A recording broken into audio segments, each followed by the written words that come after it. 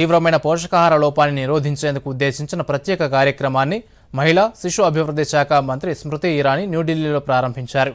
దేశంలో పౌష్టికాహార లోపం ఉన్న పిల్లలను గుర్తించి వారికి విస్తృతంగా సంరక్షణ అందించేందుకు protocol for management of malnutrition అనే ఈ ప్రత్యేక కార్యక్రమం సమగ్ర మార్గదర్శకాలు అందజేస్తోంది.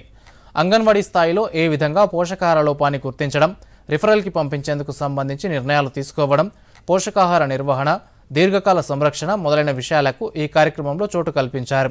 ఆహారపరంగా అవసరమైన పోషక విలువలు అందని కారణంగా పిల్లల్లో పెరుగుదల కుంటుపడటం మొదలైన సమస్యలను పరిష్కరించే లక్ష్యంతో ఈ కార్యక్రమాన్ని ప్రవేశపెట్టినట్టు స్మృతి ఇరానీ తెలిపారు.